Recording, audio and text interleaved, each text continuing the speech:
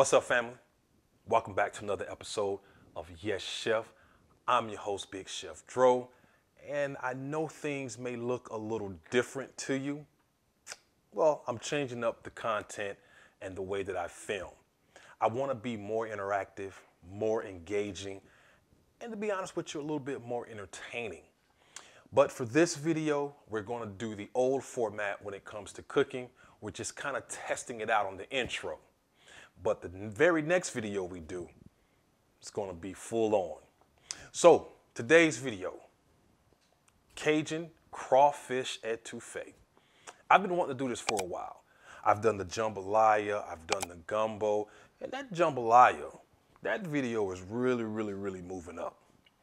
So I hope I can impress you again with some of my Cajun cuisine. So let's get into this video let's get into these Cajun and shrimp etouffee. Come on, family. Let's cook.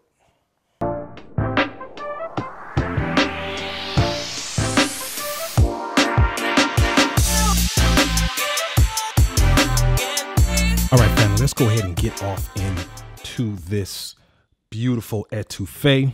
Uh, so, just real quick, the word etouffee simply means uh, to smother and that's pretty much you know cooking with a top on a pot or you know something of that nature.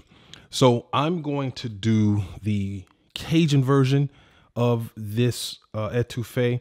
Uh, the only difference is i'm going to use a butter roux instead of an oil roux. Um, the butter roux was kind of brought about with the um, with the creole version uh, but that's the only thing i'm i think i'm just going to do different.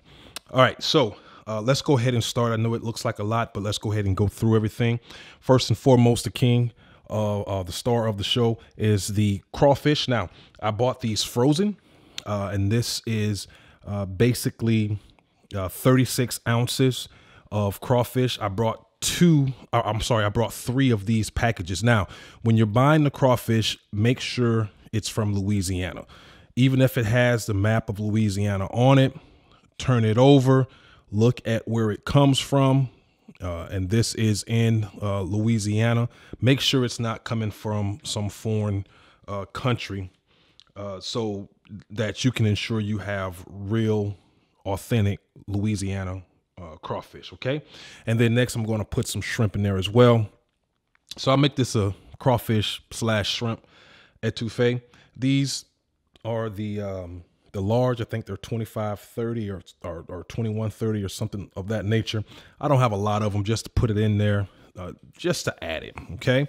Uh, I also have some whole crawfish that I'm going to put in at the end so they can get warm. And it, this is just for presentation purposes. You don't have to do that. Uh, going moving forward, we have our uh, celery. Now I have this is three. I'm sorry, this is four stalks of celery.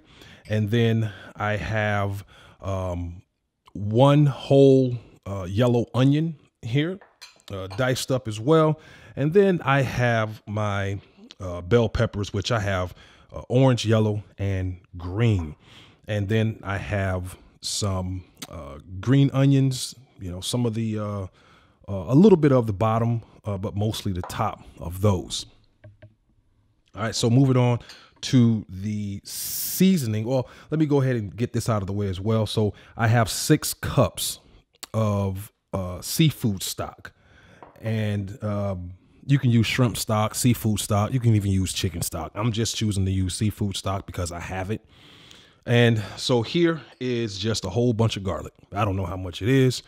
I just put a whole bunch of garlic in there. And, you know, you can adjust your garlic level however you want to do it uh, but that's what I'm going to do. So uh, right here, I have one teaspoon of cayenne pepper. Now, uh, I've seen a few videos where some people use the crab boil to concentrate it. Man, that stuff is that stuff is dangerous. So I would rather use this than the uh, crab boil concentrate.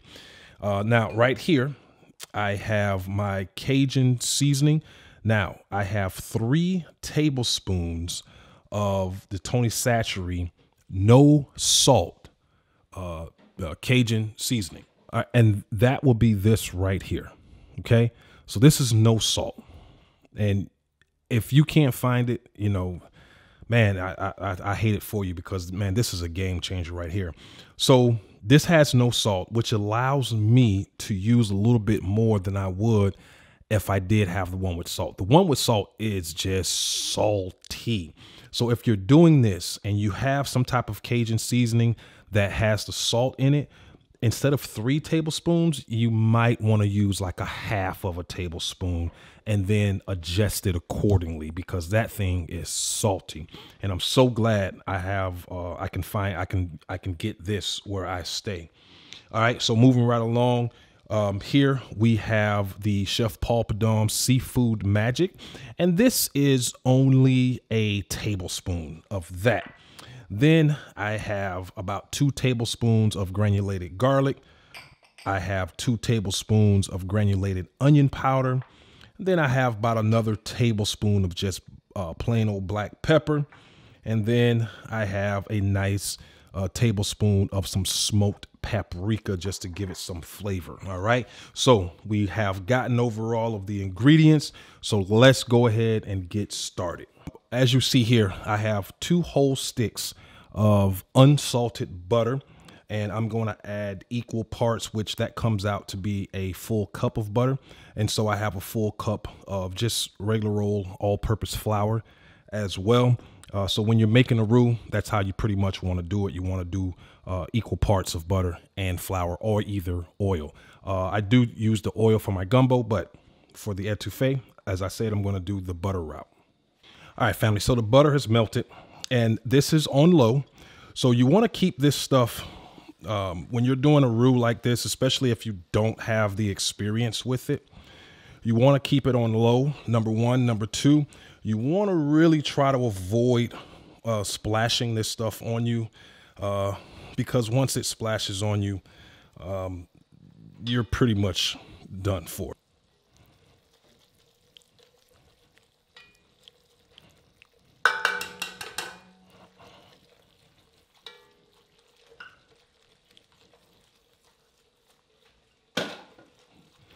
All right, family. So starting out, uh, you know, this is pretty much the color it's going to be.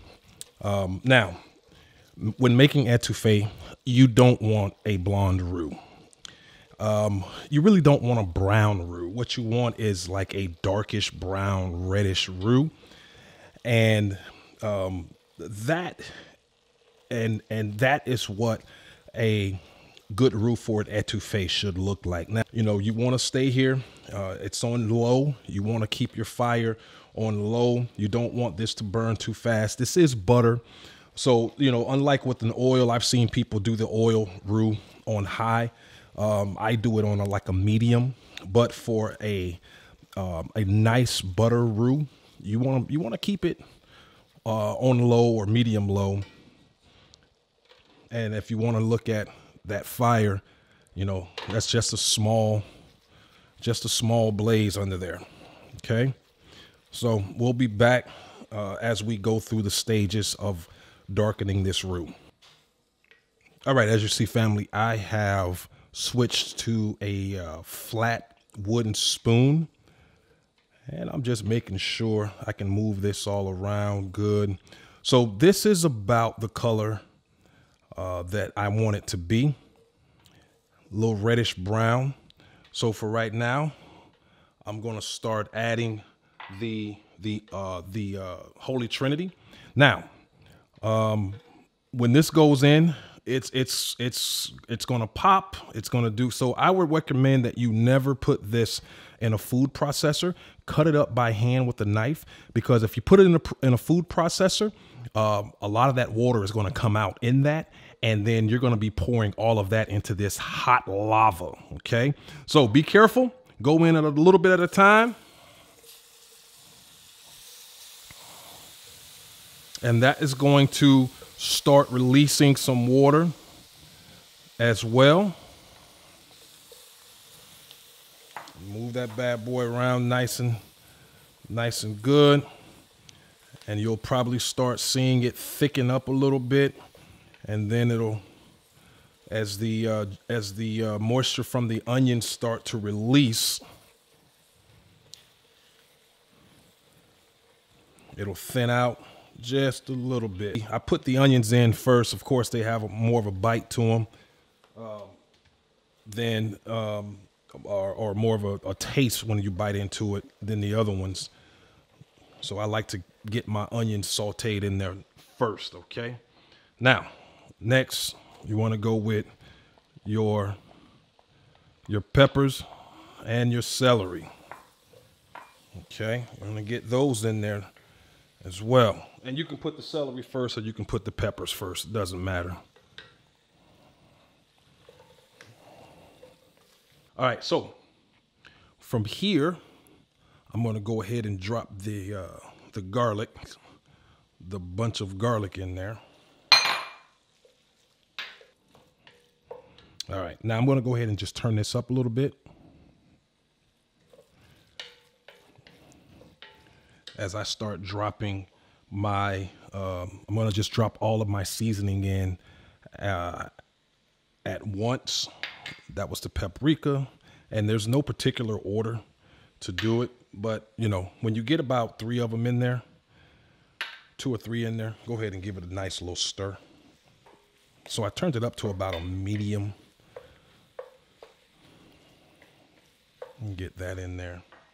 It's my Cajun seasoning. Remember, no salt on the Cajun seasoning.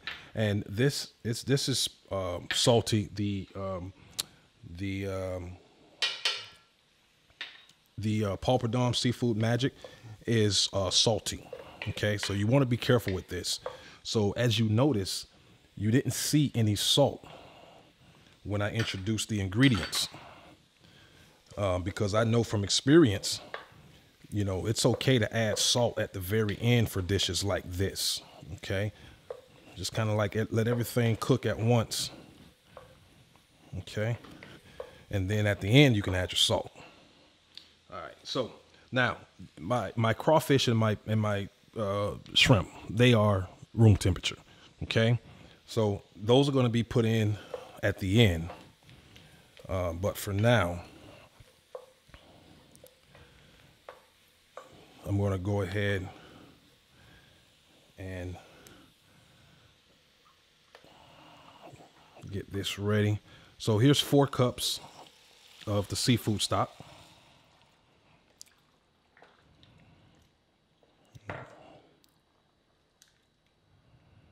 There's another two cups here.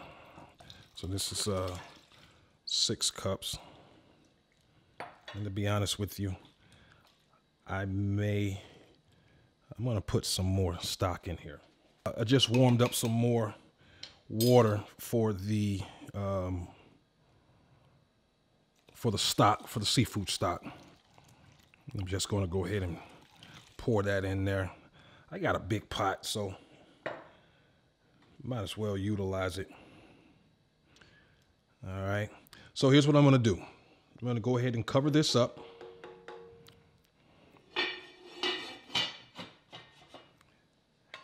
And I'll put it on like a medium and I'm going to let this um, cook or smother for about 40 minutes.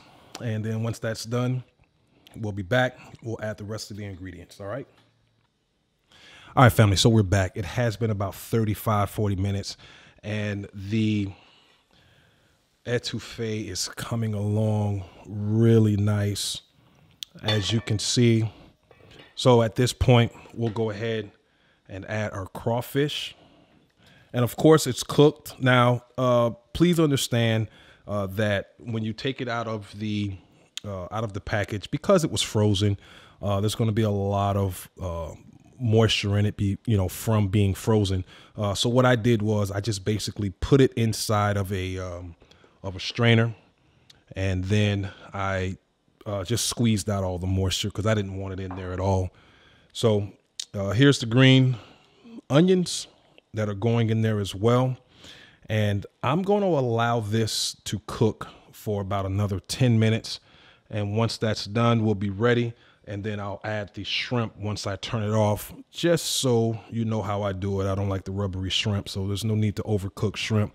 Now I'm gonna just go ahead and throw these in here just so I can have them ready for the presentation.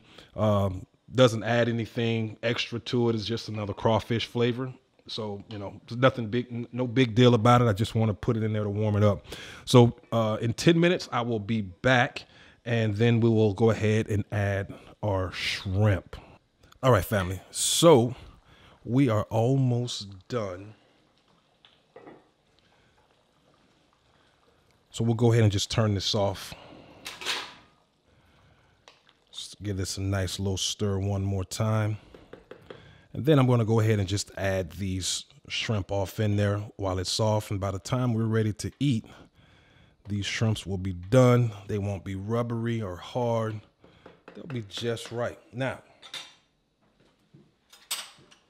I need to go ahead and get a little taste test of this here because this is looking absolutely delicious. Y'all, y'all excuse me for one second. Y'all just, y'all bear with me, okay?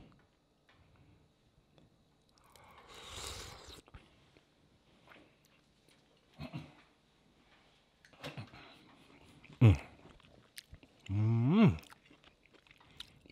Now that Wow. Mm. Folks, I know I say this all the time, man, but I done perfected that one. That was a good one. So I'm going to let this sit for about another 20 minutes, and then we'll go ahead and plate it up. Now, we won't have a taste testing today because I have some family over, and uh, we're going to dig into this. So give me about 10 or 20 minutes and we'll be back for the plate presentation. And so there you have it, family.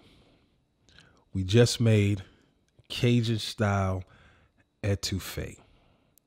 So again, flavor came out perfect, nice and balanced, not too hot, just the way I like it. So go ahead and just try this, folks, for yourself. Now, like I said, I got some family over and we're finna go ahead and just dig off into this real quick. So you won't be getting a taste test today. But hey, I just want to thank everybody for watching these videos. Go ahead and hit that like button, folks. We need to get these videos out. We're we're we're not liking uh, we're not liking the videos at all. So let's get these videos up and let them let's get them in front of people. So go ahead and hit those like buttons for me. And so until the very next video, folks, until the very next time we see you. As always, family, peace. Thank you so much for watching this video. And don't forget, hit the like button. And if you want to be a part Yes Chef family, consider hitting the subscribe button. And don't forget, click the notification bell, and that way you'll stay up to date on all of our latest videos. Also consider becoming a member of my Patreon for up close and behind the scene content. And be sure to follow us on all of our social media platforms. Thank you.